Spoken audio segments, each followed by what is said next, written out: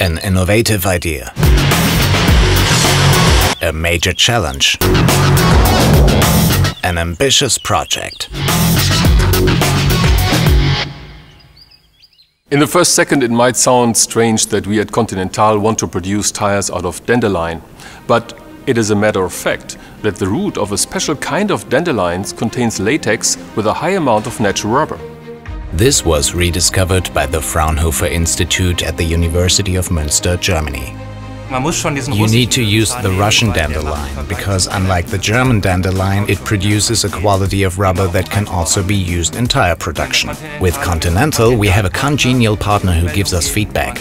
And at present it can be said that dandelion rubber has the same level of quality as that of the rubber tree.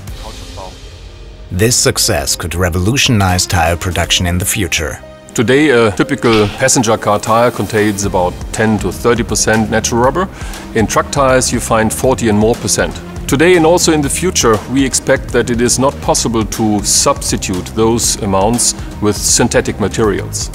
There is only a small area around the equator where you can plant natural rubber trees. The Russian dandelion can be cultivated in areas which are today known as marginal land, which are not used for agriculture today.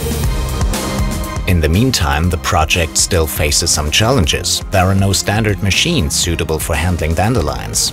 To this end, resourceful inventors are modifying their existing machineries to find a simple yet effective way of extracting the sought-after dandelion root and its latex as a valuable raw material, natural rubber. Then the time has finally come. The moment we've all been waiting for. In just a few seconds we will see the first Continental tires made from dandelion rubber. That's a really exciting step for us, having these first dandelion tires on the car. The vehicle tests are the final step in evaluating a tire itself. They really tell you the truth of the tire performance. However, it is safety that is Continental's top priority. The new prototype proves that its performance is right up there with its colleagues from the Winter Contact TS 850p production range. The joint Rubin project won the prestigious GreenTec Award and Joseph von Fraunhofer Prize. It shows that we are on the right track with our innovative ideas in order to reach serious production of Taraxagum in 5 to 10 years. With the excellent project team and the highly motivated internal team, I'm very optimistic that we will reach this goal.